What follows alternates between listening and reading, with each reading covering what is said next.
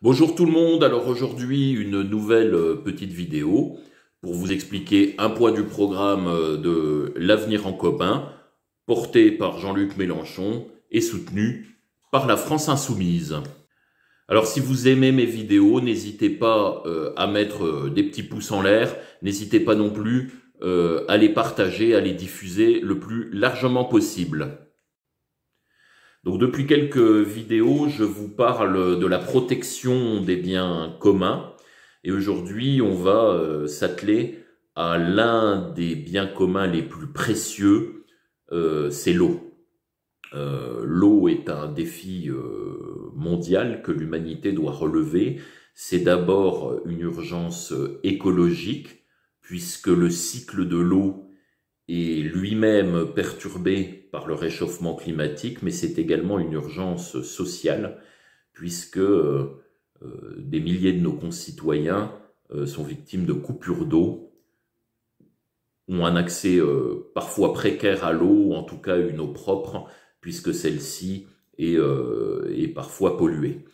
donc, notre priorité, ça va être de garantir l'accès à l'eau et à l'assainissement à tout le monde par une gestion publique. Donc euh, tout le monde connaît euh, la règle verte que j'ai déjà évoquée euh, par avant et que Jean-Luc Mélenchon évoque assez souvent, c'est ne pas prendre à la nature plus que ce qu'elle est capable de reconstituer.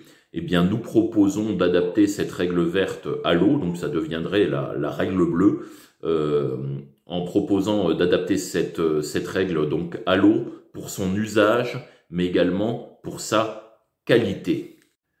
Nous proposons d'inscrire l'eau comme bien commun et la protection de l'ensemble de son cycle, donc y compris les nappes phréatiques, dans la Constitution.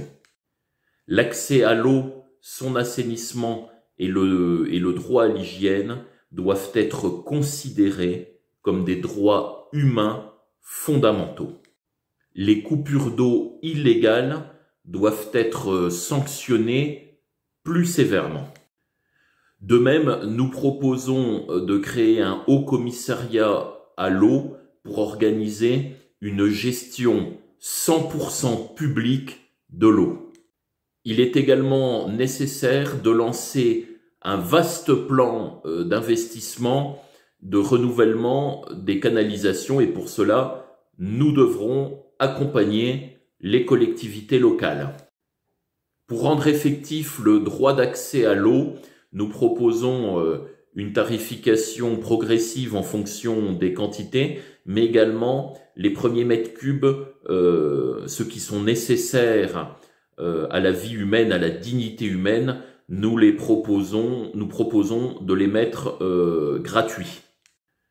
Nous proposons de renforcer les effectifs de la police de l'eau de manière à ce qu'elle puisse euh, euh, bien empêcher et sanctionner toute pollution agricole ou industrielle.